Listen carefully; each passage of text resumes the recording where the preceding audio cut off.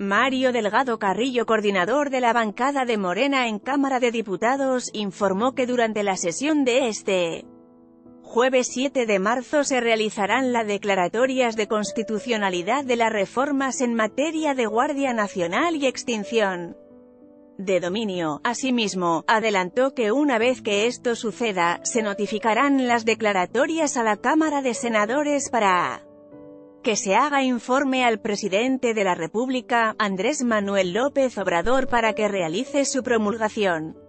Justicia Segov celebra aprobación de Guardia Nacional en 17 estados México necesita paz. Agregó también que, la aprobación de estas reformas por la mayoría de los congresos locales, representa uno de los pasos más importantes en la relación entre el poder legislativo y el Ejecutivo, a 100 días de haber iniciado este gobierno.